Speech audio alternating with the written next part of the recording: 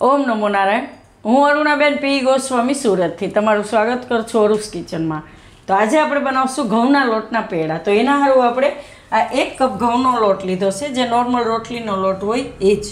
અને દૂધનો પાવડર આપણે અડધો કપ જેટલો લીધો છે અને અડધો કપ જેટલી દળેલી ખાંડ અને ઘી. તો આપણે આ ઘી ઓગાળીને લીધું છે. અડધો કપ ઉપર થોડુંક એટલું એમ. તો જરૂર પ્રમાણે વાપરવાનું. અને દૂધ. તો ત્રણથી ચાર ચમચી જેટલું આપણે દૂધ જોવે અને આ પિસ્તાની કતરણ આપણે લીધી ગાર્નિશ માટે ખાલી. અને થોડાક આપણે એમાં એલચીનો નાખશું વાટેલી આ. બસ આટલી જ વસ્તુ આપણે જોઈએ. તો લોટને આપણે પહેલાં ચારવાનો હે.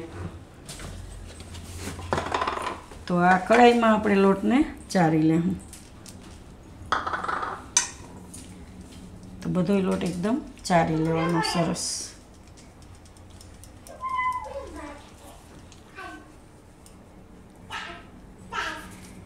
રીતે ચારી લેવાનો લોટને. અને આપણે આમનામ જ શેકવાનો છે. ઘી કે કંઈ હમણાં નથી નાખવાનું. પહેલાં ખાલી એને કોરે કોરો જ શેકવાનો છે. તો ગેસ ચાલુ કરી દે હું. નાને આપણે શેકી લેવું થોડીક વાર. તો ત્રણથી ચાર મિનિટ આને આમનામ શેકી લેવું તો આ લોટને આપણે પાંચથી છ મિનિટ માટે શેકોશ એકદમ ગેસની ફ્લેમ હાઉસ સ્લો રાખીને ધીમી એમ. કે નહીં તો તરત બળી જાય ને એનો કલર ઓલો થઈ જાય અને સ્વાદમાંય ફેર પડી જાય પણ એકદમ ધીમા ગેસે આ રીતે શેકવાનો છે. હવે એનો કલર થોડોક બ્રાઉન ઉપર થવા માંડ્યો છે. આપણે પહેલાંનો લોટ તમે નાખ્યો એ જુઓ અને આને જુઓ તો ઘણોય ફેર લાગશે એમ. તો આ રીતનો પહેલાં કોરે કોરો જ શેકી લેવાનો. હવે એમાં આપણે નાખશું ઘી. તો પહેલાં બેથી ત્રણ ચમચી જેટલું ઘી નાખશું. આ રીતે શેકતું જવાનું, એને એકદમ મિક્સ કરતું જવાનું અને ઘી નાખતું જવાનું થોડુંક એ રીતે. ગેસ ધીમો રાખવાનો. મેઇન વસ્તુ આમાં ધ્યાન રાખવાનું એ જ છે કે ગેસની ફ્લેમ ધીમી રાખવાની. નહીં તો એ તરત જ બળી જાય ને એનો સ્વાદ તમને કડવો લાગશે પછી. એટલે આ રીતે એકદમ ધીમા ગેસે જ આને કે ને ધીરજ રાખવી પડે એમ. એ રીતે બનાવવાનું છે. તો પાછું થોડુંક ઘી નાખશો. તો હવે આને પાછું આપણે શેકી લેવું. એકદમ આનો કલર ચેન્જ થઈ જાય. બ્રાઉન જેવો, ત્યાં સુધી એમ. આ રીતે હલાવતું જવાનું ને શેકતું જવાનું. આને આપણે આ રીતનું શેકી લીધું કલર એકદમ બ્રાઉન તો હવે આપણે એમાં દેવું, દૂધનો પાવડર ગેસ એકદમ ધીમો જ રાખ્યો પાવડર મિક્સ કરી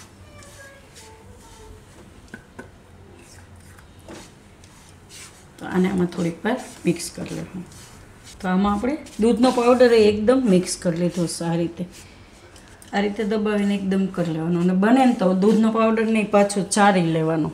તમે એમને નાખ્યો એટલે થોડુંક મને વાર લઈ ગઈ આ રીતે કરતાં.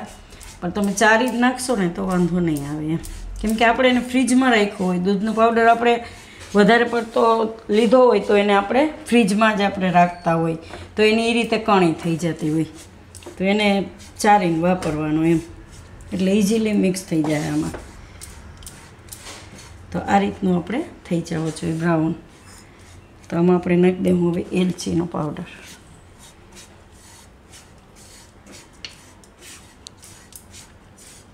ગેસ એકદમ ધીમો જ.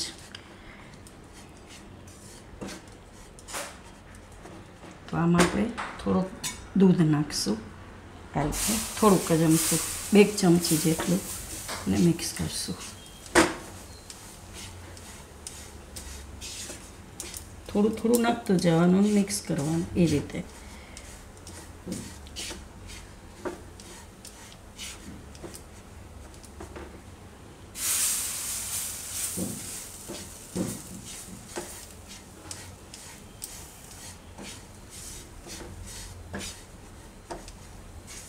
ગેસ બંધ કરી દો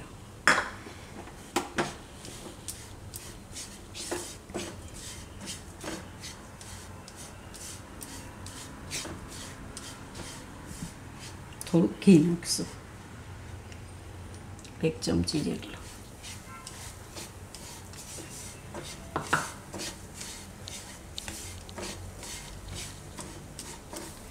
તો આ રીતનું આપણે બરાબર મિક્સ કરી લેવાનું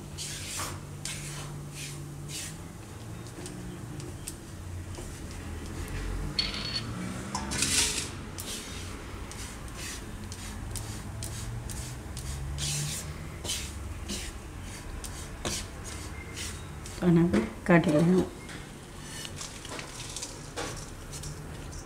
થોડુંક ઠંડુ થવા દે હું, થોડીક વાર. તો આને આપણે થોડીક વાર ઠંડુ કરી લીધું. એકદમ નહીં, પણ થોડુંક એમ કે કે ને વરાળ નીકળી જાય એટલું જ આ રીતનું. તો હવે આપણે આમાં નાખશું દળેલી ખાંડ. તો એને આપણે થોડીક ચારીને નાખશું. તો દૂધનો પાવડર એ મીઠો હોય અને ખાંડ એ મીઠી હોય, તો તમે એ પ્રમાણે ટેસ્ટ પ્રમાણે નાખી શકો.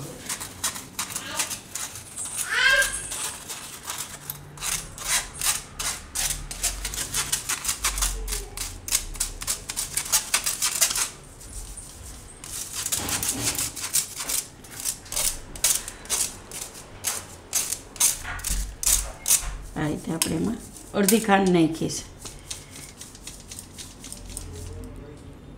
આ રીતે ચારીને નાખવાની એમ. હવે આમાં આપણે થોડુંક નાખશું ઘી.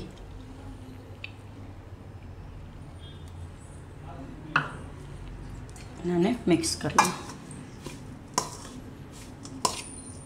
તમે હાથથી કરી શકો ને ચમચીથી કોઈ પણ રીતે એમ.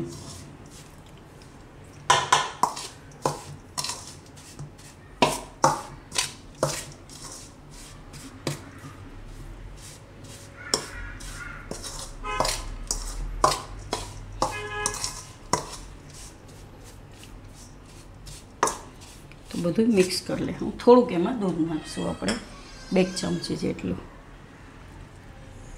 અને આ બધું મિક્સ કરી દઉં એકદમ હાથથી સરસ કે એકદમ હરખું થઈ જાય એમ. આ રીતનું. બરાબર. આ રીતનો કલર આવવો જોઈએ આપણે લોટનો. એવો શેકાવો જોઈએ.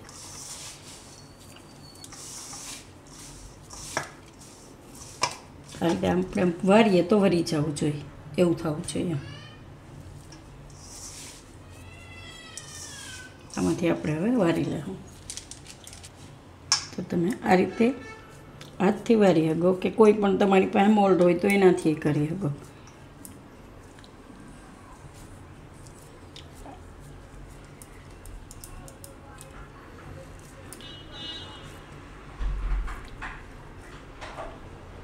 આ રીતે આપણે એને વારી લેવાનું. થોડુંક ચપટું કરી લેવાનું. ડીશમાં રાખી દેવું અને ઉપર આપણે ખાલી ગાર્નિશ માટે પિસ્તાની કતરણ રાખીશું. તો બધાય આપણે આ રીતે વારી લેવું તો આપણે બધાએ આ રીતે પેડા વારી લીધા છે. તો કેટલા બેના? ત્રણ ને છ ને નવ. અગિયાર. તો આપણે એક કપમાંથી અગિયાર પેડા બન્યા તો એકદમ મસ્ત ટેસ્ટમાંય સારા લાગશે તમને. તો તૈયાર છે આપણા ઘઉંના લોટના પેડા. તો જો તમને મારી આ રેસીપી પસંદ આવી હોય તેને લાઇક કરજો, શેર કરજો અને મારી ચેનલને સબસ્ક્રાઈબ કરજો. અને બે લાઇકન દબાવવાનું ના ભૂલતા. કમેન્ટ કરીને કહેજો કે તમને કેવા લાગ્યા ઘઉંના લોટના પેડા.